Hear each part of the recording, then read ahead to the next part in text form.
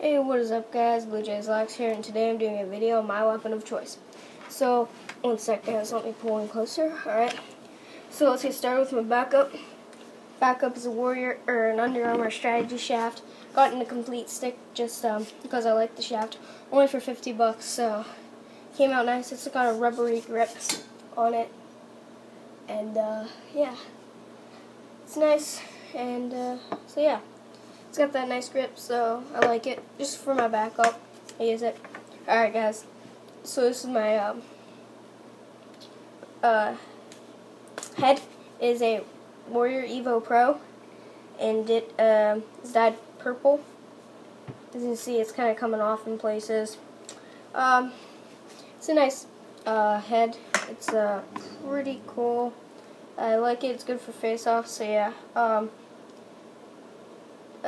black top string, gray sidewall gray in the throat, two straight gray, and then one V gray. East Coast dyes mesh in it. It's um, East Coast dyes. Supposed to be soft mesh, but it's really hard. So yeah, that's that.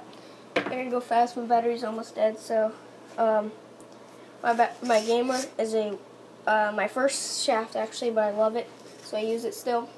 It's in Warrior Rabil Next shaft. I taped it with a Paul Rabil on it and a candy cane. I did the Paul Rabil just so my hand doesn't come off, not because it's the Rabil stick.